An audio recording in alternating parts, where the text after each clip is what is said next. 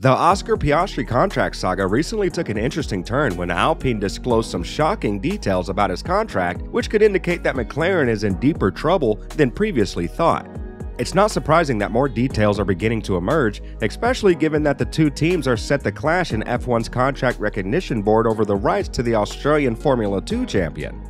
Without further ado, let's look at Alpine's unexpected reveal, what it could mean for McLaren, and how the CRB will decide who gets to sign Piastri in 2023. Alpine's Otmar Szafnauer was joined by McLaren's Andreas Seidl and Aston Martin's Mike Krack for a Tasty Team Boss press conference at the Belgian Grand Prix on Saturday morning. The trio were involved in one of the biggest surprises of this year's silly season when Aston Martin announced Alpine's Fernando Alonso as Sebastian Vettel's 2023 replacement. A day later, Alpine announced that reserve driver Piastri would replace the Spaniard, which Piastri publicly rejected. He issued a statement on Twitter stating that Alpine issued the press release without his permission and that he will not be driving for them next year. Instead, he is expected to join McLaren. Although the team has not confirmed this, they did announce on Wednesday before the Grand Prix that Daniel Ricciardo would be leaving at the end of the season, allowing Piastri to partner Lando Norris. His fate will be decided by F1's Contract Recognition Board, which was scheduled to meet on the Monday following the Belgian Grand Prix. When asked if he was confident that the ruling would favor his Alpine team, Szafnauer replied, Very. I have seen both sides of the argument, and we are confident that Oscar signed with us back in November, and there are certain things that need to be in the contract, and I'm confident they're in there. However, it is believed that Alpine missed the deadline for exercising their option on Piastri, which was set to midnight on July 31st. Alpine had initially planned to bring Piastri to Williams for a year. However, after Alonso decided to announce his departure to Aston Martin on August 1st, Alpine responded the next day by naming Piastri as his replacement, but it may have been too late. If it exists, missing the deadline gives Piastri the authority to go wherever he wants, which is presumed to be McLaren. Szafnauer, on the other hand, has denied the existence of such a deadline, claiming that the contract with Piastri is in place until the end of 2023.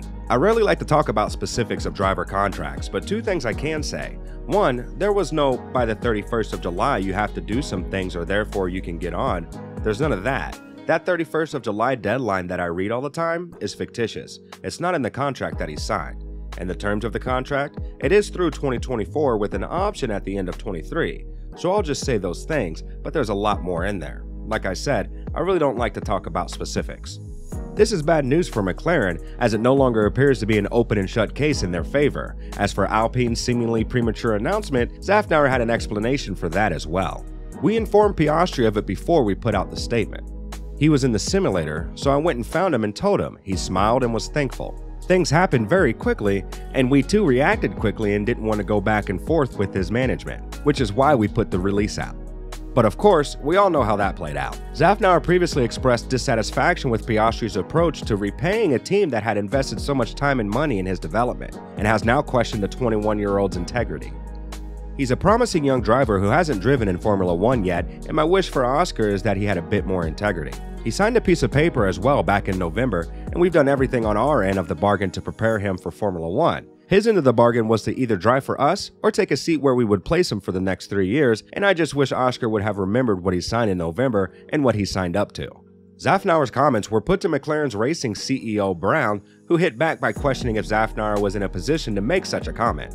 Ultimately, I don't know any of the details between that relationship, so I think it would be unfair to me to take a position either way because I simply don't know. But judging by recent times, the way Fernando has departed and caught Otmar by surprise, and not too long ago he is the recipient of a 400,000 euro fine and 15 points, I'm not sure he comes with the highest level of credibility in making accusations around ethics.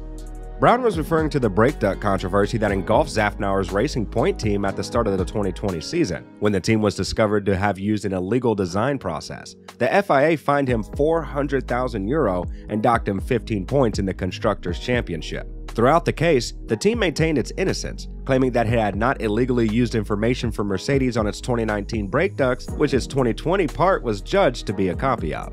Racing Point has begun the process of appealing the ruling through the FIA's International Court of Appeal in an attempt to clarify the rules and have its penalty reversed. However, after discussions with teams and clarifications from the FIA on the rules governing the use of listed and non listed parts, Racing Point eventually withdrew its appeal. It's not the first time Szafnauer and Brown have had a verbal spat. During the 2020 brake duct saga, Szafnauer claimed Brown has no idea what he's talking about and knows more about historic racing than F1. However, it appears that the battle is still squarely in the hands of the CRB. Even if Alpine wins the hearing on Monday, it appears the team is more interested in receiving compensation from McLaren than putting the Australian in the car, given that he has made no indication of wanting to race for Alpine. Szafnauer states that Alpine is still working with Piastri and that the driver is in the simulator, and that the relationship is fine, implying that he would be fine if the relationship continued into 2023 and beyond. However, because the team boss has questioned the driver's integrity, Szafnauer may be fine with it, but Piastri is unlikely to agree. He clearly wants to race for McLaren, otherwise, why would he publicly humiliate Alpine by turning down their offer?